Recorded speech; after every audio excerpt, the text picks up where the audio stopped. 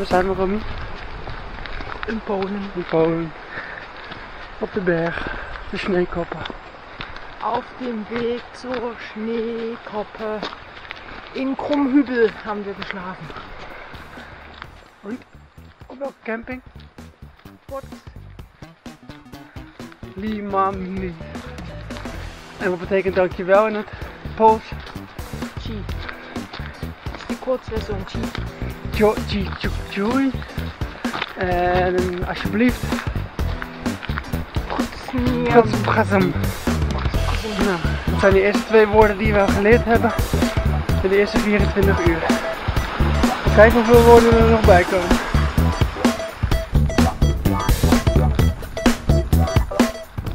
Unsere Wanderung auf die Schneekoppe begann in Karpatsch oder auch Krummhügel. Der Legende nach soll der Riese und Berggeist Rübezahl in diesem Ort gewohnt haben. Der Berggeist hat das Riesengebirge weltweit bekannt gemacht und ein Besuch im Rübezahl-Museum in Karpatsch ist sehr empfehlenswert. Hier erfährt man auf interaktive Weise alles, was man über Rübezahl wissen muss. Gegenüber guten Menschen verhält sich der Berggeist meist recht freundlich und gibt etwa in der Heilkunde sein Wissen weiter. Arme beschenkt er sogar. Wer ihn jedoch nicht ernst nimmt oder verspottet, wird seine Rache zu spüren bekommen, etwa durch Hagelschlag oder heftige Unwetter. Kein Wunder also, dass Rübezahl auch als Wetterherr der Region galt und Nebel und Schnee oder Blitz und Donner senden konnte. Nur um eine halbe Stunde später wieder alles in schönsten Sonnenglanz zu hüllen.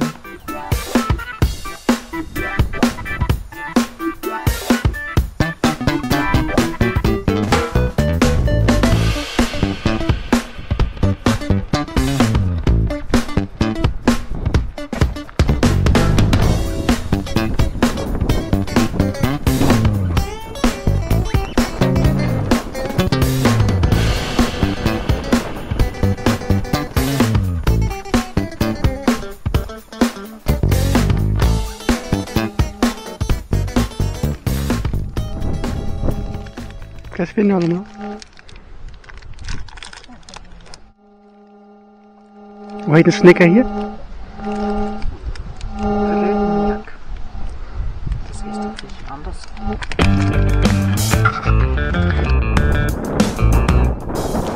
Die Schneekoppe ist mit einer Höhe von 1603 Metern der höchste Berg im Riesengebirge und in der Tschechischen Republik. Über den Gipfel verläuft die polnisch-tschechische Grenze.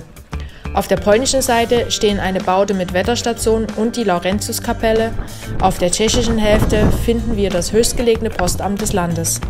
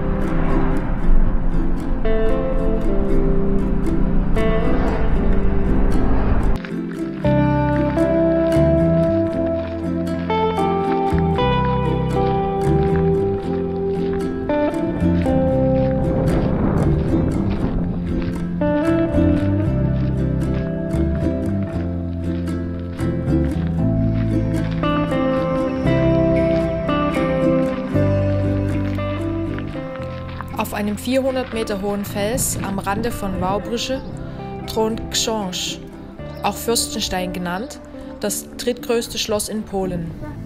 Es verfügt über 400 Räume und ist von einem fast 300 Hektar großen Park umgeben.